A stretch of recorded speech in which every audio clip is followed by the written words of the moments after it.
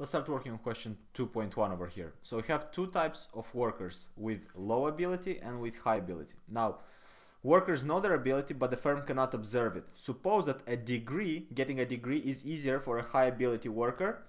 The equivalent of the utility loss from getting a degree is equal to 30 for a high ability worker because it's easier, so he loses less utility, and it's 70 for a low ability worker because it's harder to get it. Now, what do we have in part A?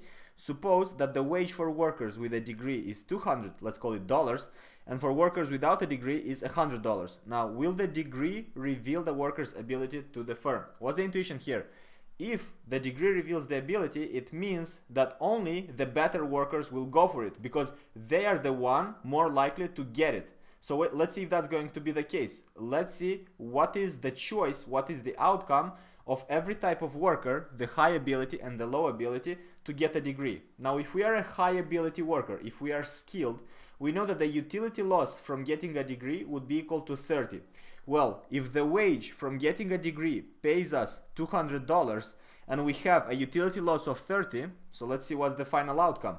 If we are a high ability worker, we would have $200 from our wage minus $30 worth of utility because we have to study for it. So that would give us $170 worth of utility from getting a degree.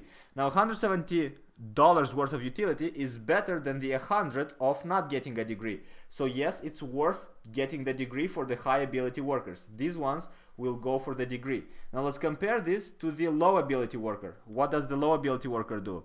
Let's do the same math over here. For a low ability worker, is he gonna get the degree? Well, the wage of the degree is 200, but for the low ability worker, he must incur a loss of 70.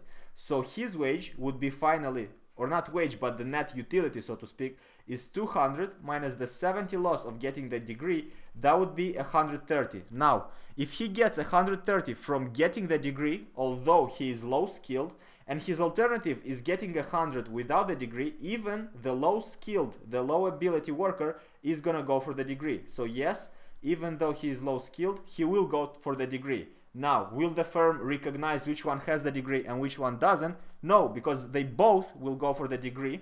I'm sorry, will the firm recognize which one is high skilled, high ability worker and which one is low ability worker? No, the firm will not recognize because they both have the degree, so there's no differentiation between them. Hope this makes sense. In the next video, we'll go to part B.